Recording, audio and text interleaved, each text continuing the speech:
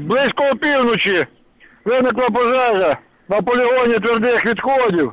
Площа пожежі 480 метрів квадратних. На ліквідацію залучалось 7 одиниць основної та спеціальної пожежної техніки та 40 чоловік лічного составу. Не допущено розповсюдження пожежі на більшу територію. Пожежа ліквідована.